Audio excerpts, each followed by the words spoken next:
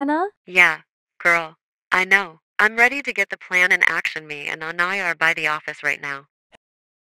Jason is okay, but if you want a release, you have to give up everything your family, your friends, and even yourself. Hey, I'm having a good time on this date. I just feel comfortable with you. Ah, me too. Mom or hey Sasha, it's me, your mom.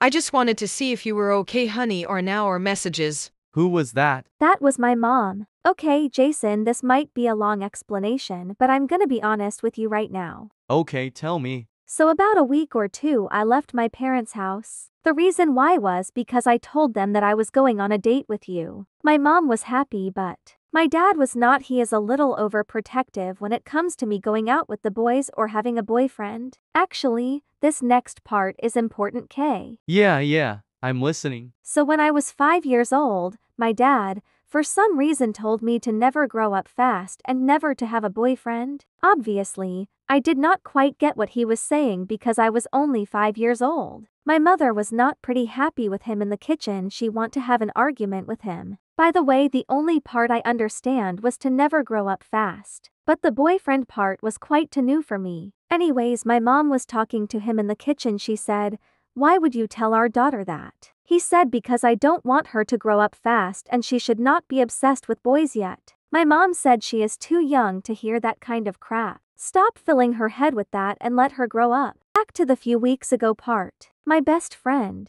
Deed standed up for me. My parents said get out of here you mistake. Then I said, what did you just say? My friend Deed then told them that this is your daughter. You should not be talking to her like that then I've been staying at her place since then. And that's about the end of it I've just been crashing at Deed's place for the past week. Oh, I feel bad. I'm sorry. No no, it's not your fault. Anyways let's get back to our date now. Okay, I really feel bad for Sasha. I hope this doesn't reflect and damage the relationship that she has onto her family.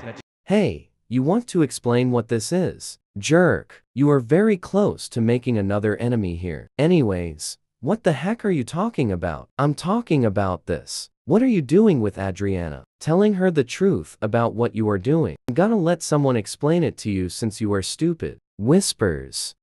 So last told her the truth of you. So last told her the truth of you. So last told her the truth about you. So last told her the truth about you. Get out. You are fired, you jerk. I hate you very much. Good. I hate you too. Um, hello? I'm looking for a girl named Tatiana DeMar. Well, you came to the right place, miss, because I am Tatiana. Ugh, I don't know how to put it in a way you will understand, but I am your mother, Gina DeMar. Mom? To be continued.